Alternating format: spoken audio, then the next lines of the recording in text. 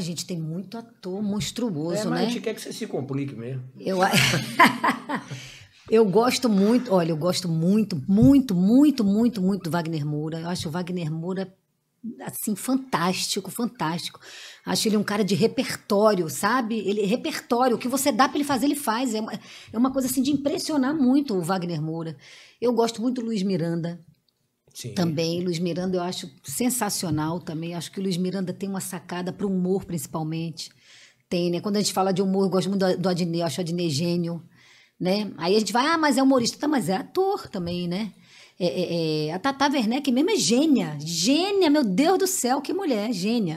Né? Mas aí eu também gosto daqueles, né? Daquelas divas, né? A Laura Cardoso, Sim. a Fernanda Montenegro, Mary Streep, que a gente já falou, né?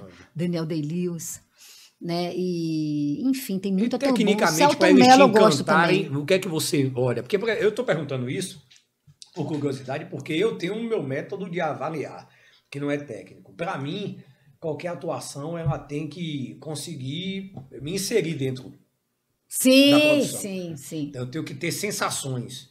E um filme, para ser muito bom, ele tem que me deixar alguma lição no final, de eu dizer assim, porra, isso aqui me tocou, seja pro bem ou pro mal. É, enfim, eu vou levar isso adiante para me, enfim, me inspira. Né? E o ator, como eu falei, tem, eu tenho que conseguir emergir na parada, dizer, rapaz, estou impressionado aqui, o cara me incomodou. Eu costumo dizer assim, rapaz, esse negócio me incomodou.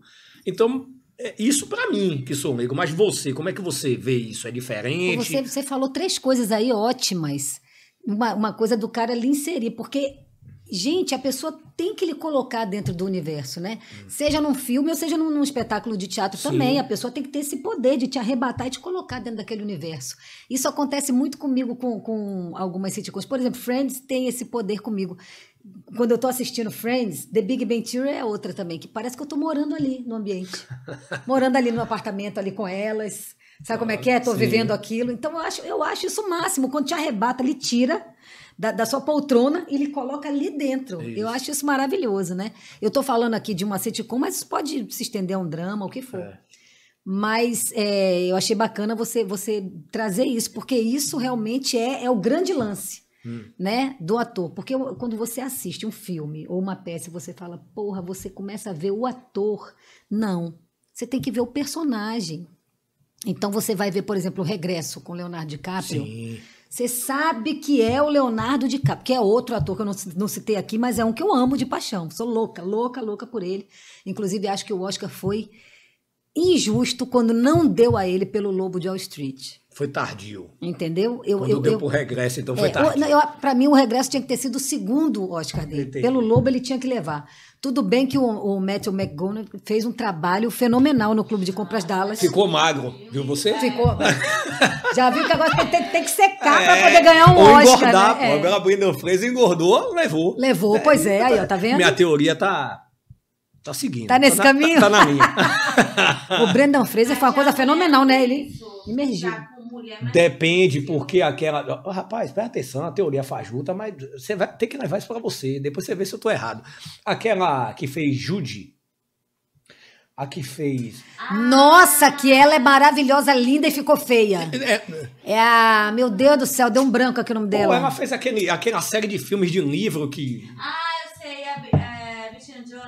O, Brid, é o Diário de Bridget Jones, só que a atriz, eu esqueci agora. Renée Zellweger. Ah, mas é, não é, a Renée Zellweger, tudo bem, tem isso, mas não é dela que eu tô falando, não. Eu tô falando de uma outra Ah, que é lindíssima e fez um filme que ela ficou horrorosa. Ganhou o Oscar? horrorosa. Não ganhou Oscar, não. pronto, a Renée Zellweger fez a Judy, não é isso? E ganhou o Oscar. Mas o que foi que ela... A Judy é anorexica. Ela emagreceu, Ave Maria. Quer dizer, então, que você tem essa teoria. Eu se tenho uma emagrecer, teoria. ganhou. Ou Lembra se de- engordar. É, né? melhor atriz e melhor ator. Se o cara perdeu peso ou ganhou e a mulher. é, Gente, agora isso é uma dificuldade. Imagina o Christian Bale, pô, o Christian Bale, porque você passa pelo efeito sanfona, né? Eu te mostro vários, pô. Vários, tô falando sério, eu te mostro vários que passaram assim. Ou então tem uma maquiagem que desfigura. É. E aí acaba levando, tô falando sério. Ó, o Brendan Fraser, ele tá gordinho, mas você sabe que ele, ele não tá daquele tamanho. Não, Ele tá não. gordinho, mas ali. Não, é. a maquiagem Mas você vê que aquele, aquele drama Tanto todo. que a maquiagem ganhou o Oscar. A maquiagem É, mas ele, mas ele estava no filme mais gordo do que ele tá hoje. Ele, ele pegou, ele ganhou peso. Ele tá não ficou gordinho com também. obesidade mórbida. É, mas aí teve bastante maquiagem. Aquilo ali dele maquiagem. Tudo, barriga, tudo. O corpo tua perna também. É. Agora, o Leonardo DiCaprio, o que eu tava falando era o seguinte: eu acho que, que foi injusto, porque ele, o, o, o, o Matthew tava bem, também tava ótimo, É. E mas o Leonardo DiCaprio o tava melhor. coadjuvante ne- desse ano? Não foi o. Desse ano quem foi? O, o é, Julião, não, como é? Jared Leto. Não, desse ano do, do Clube É. de Compras foi o Jared Por Leto. É que você, fa- você falou desse ano, pra mim era desse Não, ano do ano- agora. do ano- Foi pelo aí- mesmo filme, Clube de Compras Dallas. Maravilhoso. Sim, mas tava lá, magro. Que era um personagem. Fez um papel de travesti. aidético e tal. Ele é um travesti, mas ele. Mas o. Não, mas eu não tô tirando o talento, olha só, não tá só na, no físico. Sim. Mas assim, se tiver os dois, fisica, os dois atuando bem e, o fisicamente prejudicado, acaba É levando. porque acho que você tá colocando o desprendimento da pessoa, né? Exato. é, colocar isso. Mas Eu eu ia acho que, que o Lobo de Wall Street, o, o Leonardo DiCaprio tinha que ter ganho ali na hora, na hora, porque, nossa, tava. É, não, aquele filme é muito bom também. Não, o trabalho dele tava, tava melhor do que o, o do Matthew McConaughey. Pra mim era isso, né? Mas, enfim, o que eu quero dizer é o seguinte: você vê o Leonardo DiCaprio, ou no Lobo de Wall Street, ou no Regresso, que seja. Você sabe, você sabe que é o Leonardo DiCaprio que está ali na sua frente. Você está assistindo, você está vendo a cara dele, do Leonardo DiCaprio. Mas em momento algum, durante o filme, você lembra. Olha o Leonardo DiCaprio aí. Você não lembra Não, disso. Você não não. lembra. A imersão é total. Exa- Porque o ator, ele consegue pegar você e colocar dentro daquela história, Sim. dentro daquilo que está acontecendo, e você, com seus olhos, você está vendo que é, que é o ator, mas você não está enxergando o ator, você está enxergando o personagem. Quando ele Porque ele está fazendo do com urso, verdade. Não sei se você lembra da cena do urso. Nossa Que dá uma dilacerada nele, aquilo ali você sente a dor por causa dele E mesmo. como assim, sente? ele passando, né, a- o sofrimento com Os as gritos feridas, que ele né? dá. né? E tem um momento que o urso larga ele e você pensa que acabou, o urso volta, gente. É. Nossa, meu Deus do céu. É, filmaço. E pasme, você já viu como é que fez aquilo? Não. Nossa senhora, não tinha urso nenhum, não tinha nada. Ele ali fazendo aquilo no É seco, mesmo? imagine. Entendeu? Imagine. Sério? É, sério. Ali, por efeito especial. Sério, efeito especial. Só quando ele, quando ele ia pra longe assim, às vezes ele se jogava e às vezes alguém que empurrava. Jogava, né, pra simular. né? Mas é mais difícil ainda, né? Do, lógico, a gente ninguém ia botar um urso ali para É. contracenar com ele. Mas quando você tem alguém para contracena, isso também te facilita a vida, né? porque você você me fala e eu reajo, né? Quando você não tem ninguém para contracena para você reagir é muito mais difícil, né? Tem uma, uma cena nesse que eu te falei, não sei se você já viu, o Triângulo da Tristeza. É, acho que é, a segunda, é o segundo ato do filme. É, que é um casal numa mesa de restaurante. Eles começam a discutir sobre quem paga a conta. Mas o diálogo é tão ácido e assim, classudo.